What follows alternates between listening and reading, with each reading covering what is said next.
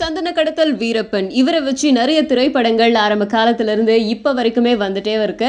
And கடைசியாக அவரை வச்சு வெளிவந்த திரைப்படம் வன யுத்தம் இந்த திரைப்படம் வெளியாகாம இருக்கணும் அப்படின்னு சொல்லிட்டு சந்தன கடத்தல் வீரப்பனுடைய மனைவி முத்துலட்சுமி வந்து ட்ரை பண்ணாங்க. இருந்தாலும் திரைப்படம் வெளியாச்சு. இப்போ அடுத்த கட்டமா சந்தன கடத்தல் வீரப்பனுடைய வாழ்க்கை வரலாற அந்த கதையை படமா எடுக்க போறாரு ராம் கோபால் வர்மா. எப்பவுமே வந்து சர்ச்சையான விஷயங்களே எடுத்து கையாள்வாரு ராம் கோபால் வர்மா. அப்படி இருந்த அவரு.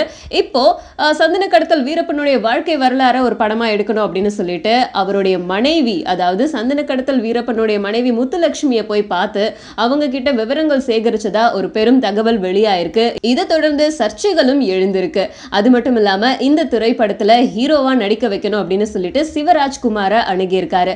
எதனால சிவராஜ்குமார் இந்த திரைப்படத்துல ஹீரோவா நடிக்கிறாரு அப்படின்னு கேட்டா வீரப்பன் உயிரோட இருந்த காலத்துல கன்னட நடிகர் ராஜ்குமார் சிவராஜ்குமாருடைய தந்தை அவரை வந்து கடத்தி கொண்டு போய் வச்சிருந்தாரு. அதனால வீரப்பனை சுட்டு கொல்ற போலீஸ் அதிகாரியா சிவராஜ்குமாரை நடிக்க வைக்கிறாரு ராம்கோபால் வர்மா.